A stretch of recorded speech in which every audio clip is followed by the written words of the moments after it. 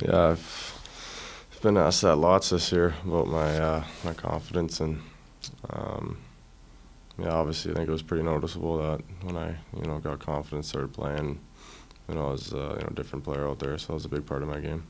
More so than that, what did you gain from going through these six playoff games? Obviously, uh, you know you learn how the game's played, and um, you know the speed's a lot different, and obviously pretty disappointing way to end, but. Um, you know, we'll be back there next year. So. Were you surprised at how different playoff was versus regular season? No, not really.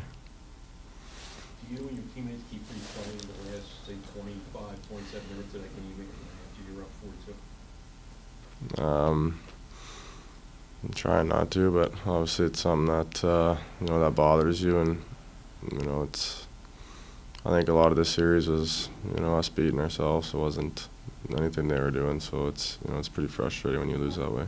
What's it going to be like for you training this offseason? Well, first of all, are you healthy now coming out of the season? Yeah, I'm 100% healthy. So yeah, it's it's exciting. So first summer where I can you know get after it, and you know it's going to be a big summer for me, and um, you know I'm not satisfied with you know how the year was or how my year was. So um, you know I'm looking to take big steps here.